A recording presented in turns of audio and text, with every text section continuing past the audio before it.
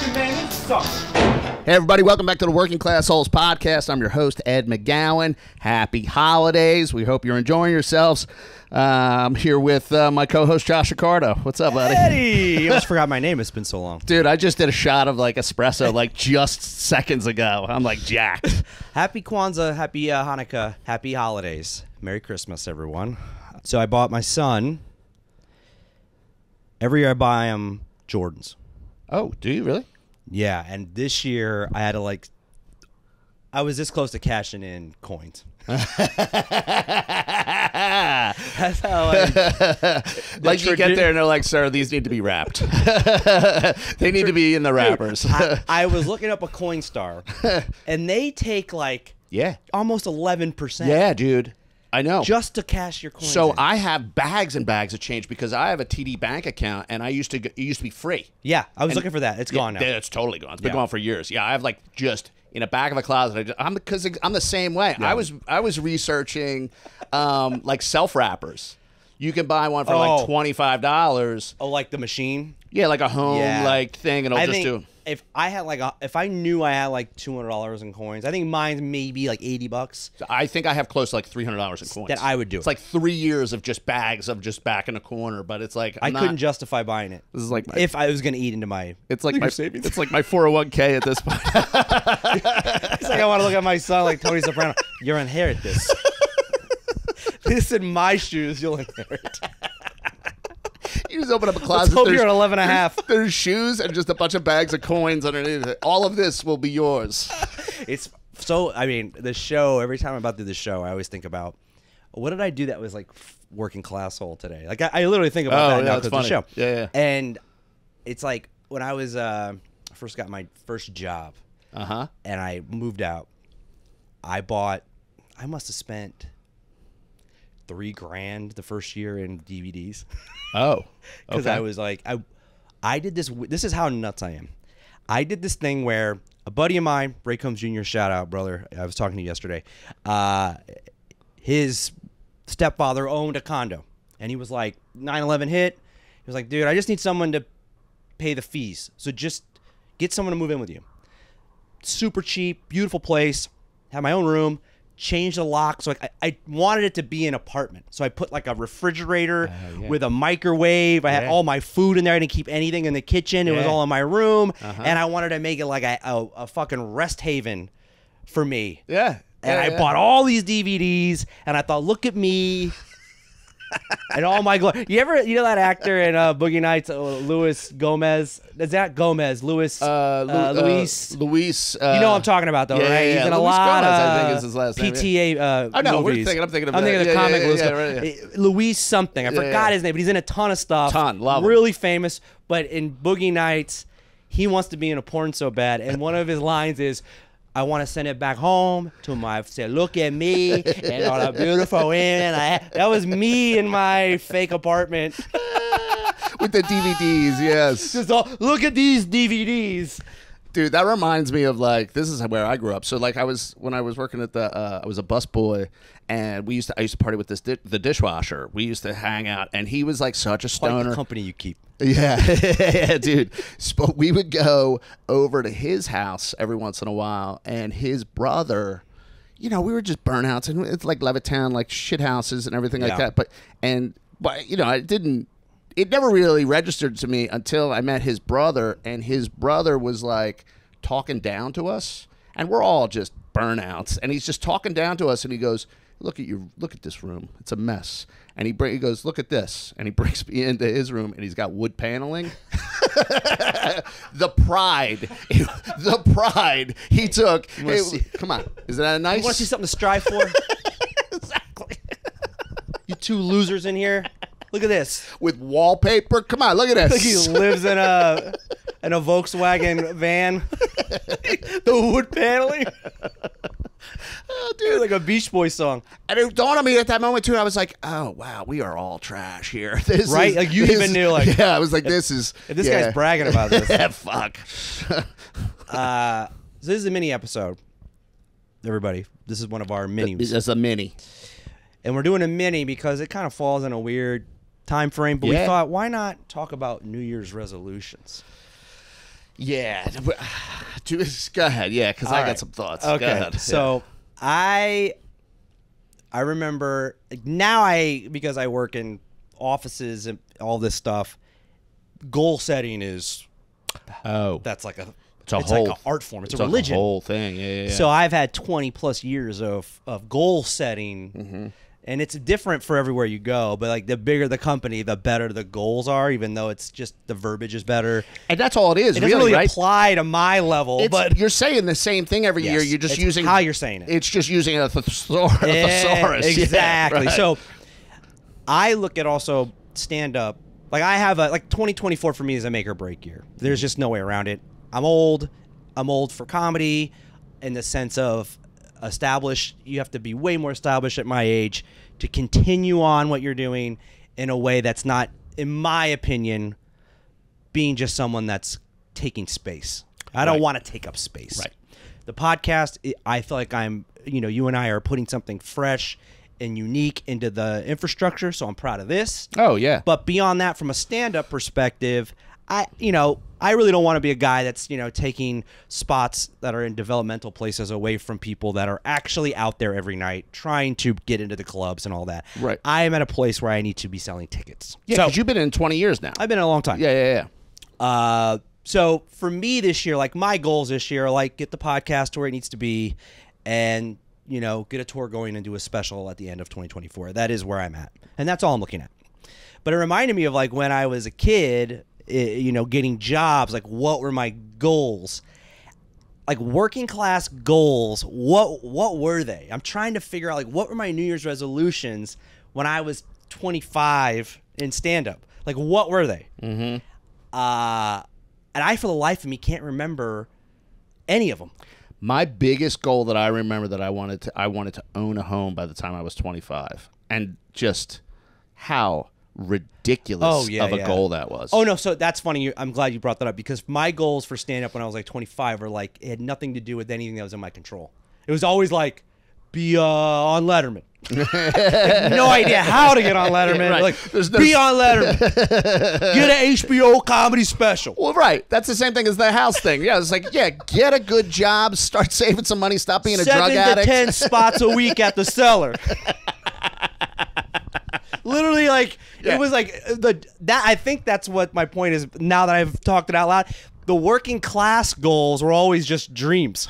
they were never like, yeah, right. how do I get that? Yeah, right. What would I What would I do to go about getting ten spots at the cellar per week? I honestly think you're you're confusing working class too. I don't know that that's working class. I think that's just a dumbass. But I mean, they sometimes go hand in hand. I don't know. I'm not saying the Venn diagram is exclusive in, all, in any regards. But it was always like make two hundred thousand, like just oh, always Oh, yeah, yeah, yeah. lofty, Yeah.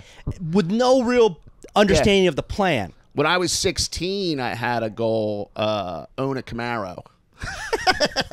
that was it. Have a gut, yeah. own a Camaro, and then, own a house. and then own a house. Yeah. Can you imagine if you got all those things? How shitty your life would be still. Well, what would be amazing is if I just happened to fall into all of those things. Well, I know. excluding the gut. I mean that that would have you been coulda that That would have been fitting. Uh, no, but if I got a Camaro and a house by the time I was 25 and still living the way I lived, Yeah. I would have lost them. Oh yeah, And then that that's so much sadder, right? To when lose you everything- when you to have lose your dreams? when you have nothing and then still have nothing, it's fine. When you've gotten you know something, what you then, thought was the yeah, what you the were creme de la creme. Yeah, yeah, right. And then you just lost all of that. You're like, it's so much sadder, right? Did I? Uh, I I don't think I've ever until recently set like any kind of resolutions that I thought were eh, gonna work.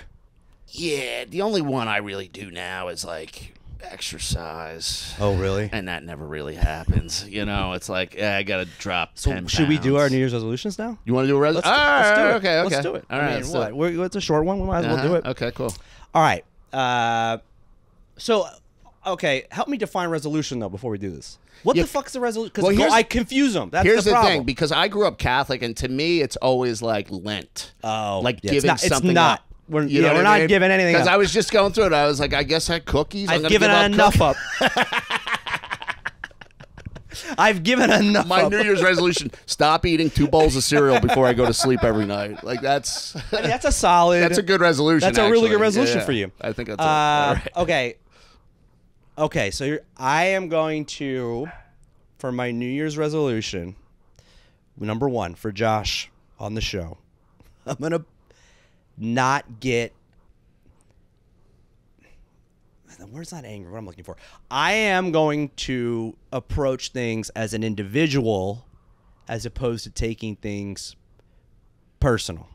And what I mean by that Oh, is instead of so like you know all the times I'm slighted on the show that I've mentioned Uh-huh. every week I have a Uh-huh. new slight. Yeah. Instead of it being about me, I'm gonna let it be about them or whatever it was that angered me. or like a larger a perspective, bigger picture. Yes. So that's my New Year's resolution. Oh, to I look like at it. things in a bigger picture as opposed to this, which tends to make me very aggravated. Oh yeah, that's good. Uh, yeah. Oh okay, cool. So that's So- my first resolution. So this that's for the show or a person or in everything. Life? Oh okay. Everything. The Okay, show. cool. Everything. Okay, cool. Um, so uh, hmm, now I'm thinking of the show. You know, I'm gonna buy a better camera.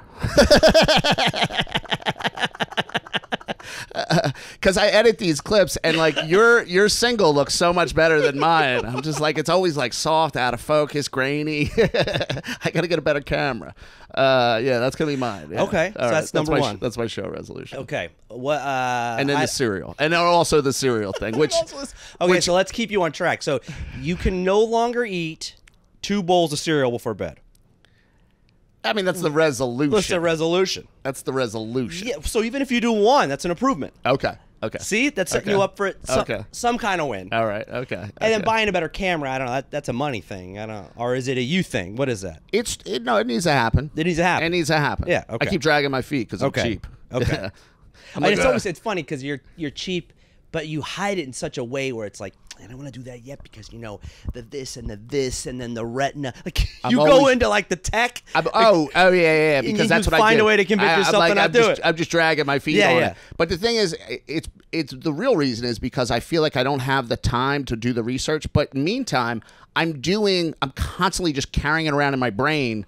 Which is just slowing me down. You know what I mean? It's like it's like a, just buy Yeah. the fucking thing and Yeah. forget about it, and you and move on. There's like this uh, viral. It's like my wife, like uh, doing research for like uh, we're going on vacation. She spends two weeks. To, I'm like, you spent two Yeah. vacations Well, hold on. researching this but vacation. if she can fucking find the the deals though, I guess. I you know, I I'm all about finding the deals with vacations. But I hear what you're saying. It's it's just another way to prolong actually doing what needs to be done.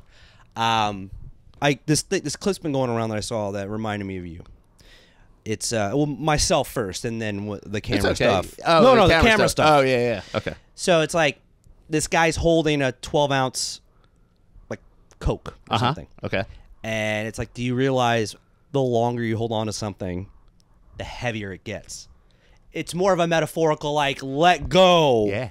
Because it gets heavier Yeah. and heavier. No matter how much the weight, it gets heavier and heavier and heavier. And I feel like that's what you are with the camera, and that's how I am with Dude. holding on to a lot of slights. So, uh, oh yeah, the slights thing. I, I try and let those go as Yeah, you're good at that. You're I- better- you're better Yeah, than me at better. I'm not good at it, but I'm better at it. I think. But the uh, but for me, the thing is like t- the to do list. Yeah. The to do list, man, just weighs me down. I t- yesterday I was like, I gotta get all this little shit Yeah. done, and I just burned it out. And like I finished. Uh, that was How good did that feel? It doesn't feel good It anymore. didn't really. It was like fine.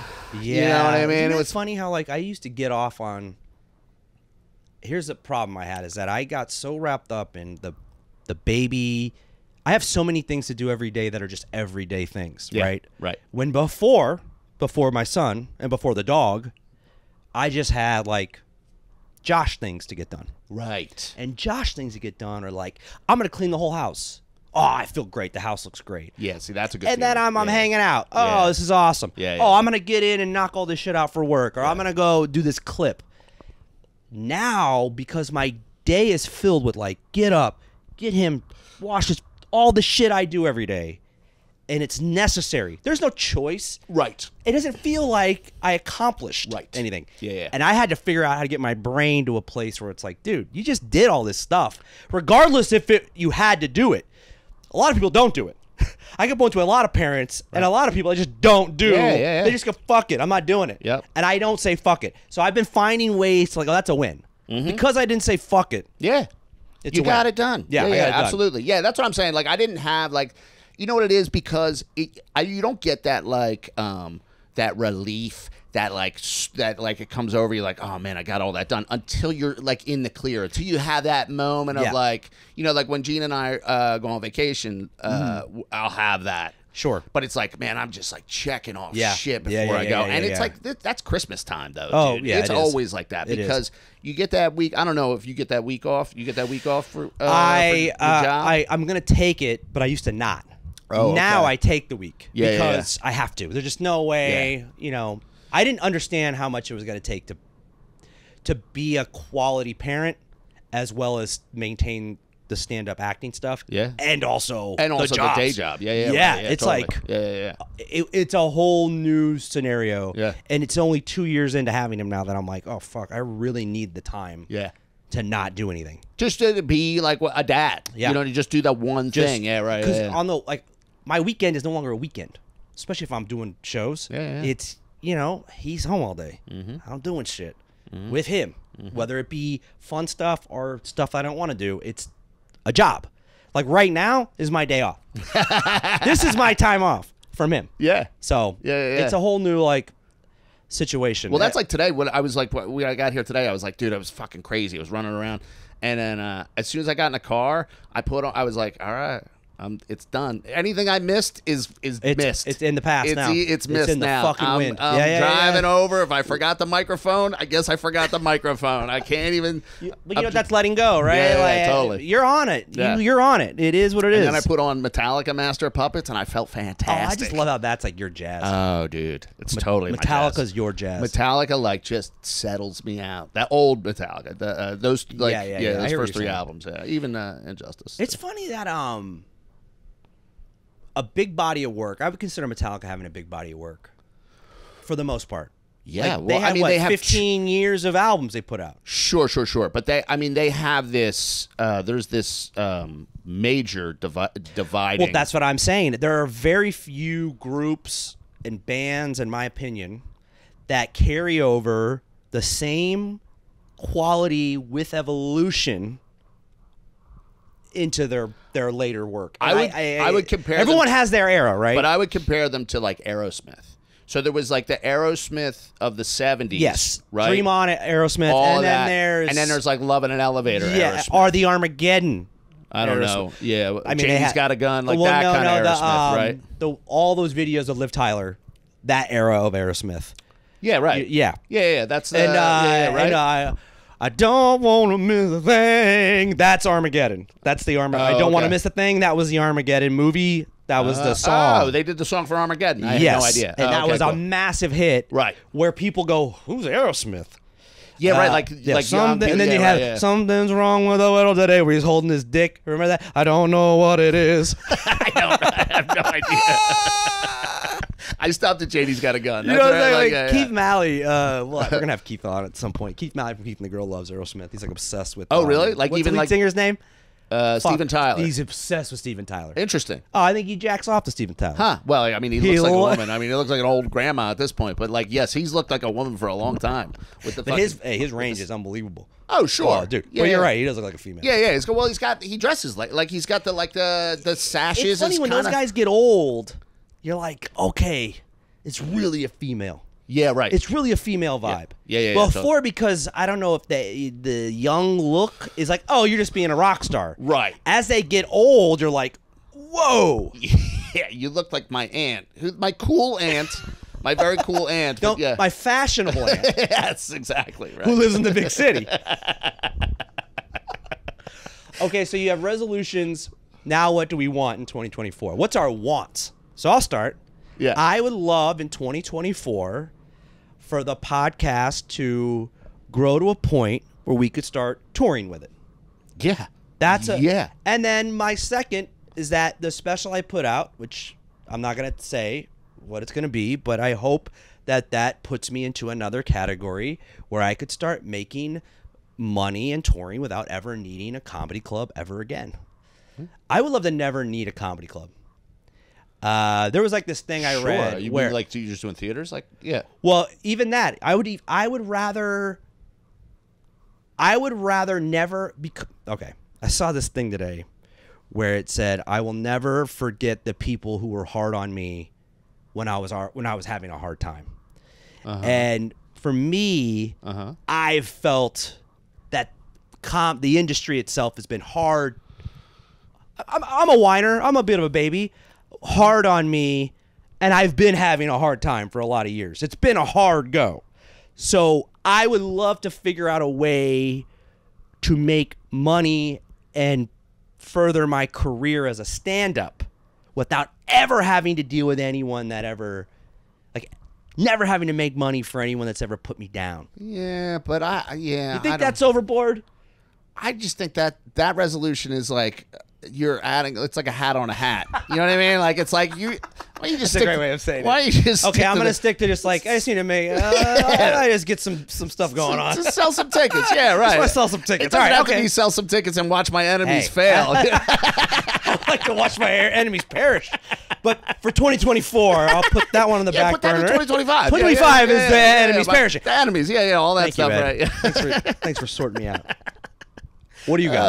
Uh, what am I gonna do? I I'm gonna do the. I'm gonna do like an extra. You know what it is? I'll tell you what. My fucking real it's resolution. wants, not resolutions. We're doing wants. Oh, wants. Yeah, because we already did resolutions. Oh, Those are perspective based and also something we can control. That's our resolution. You can control whether or not you have one bowl of cereal. You can control Oh. what kind of camera you buy. Oh, okay. Right? Okay. Just like I can control what my resolutions were. But my wants, I want all of those things that are going to be things I can control.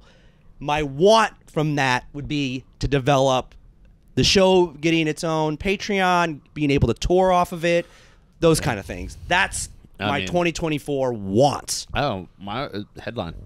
You want to start headlining? Headline. Nice. Yeah. So 45 minutes solid Yeah, fifty by the hour. end of 2024. Have that. Absolutely. Yeah, yeah, yeah. that. Nice, dude. Yeah.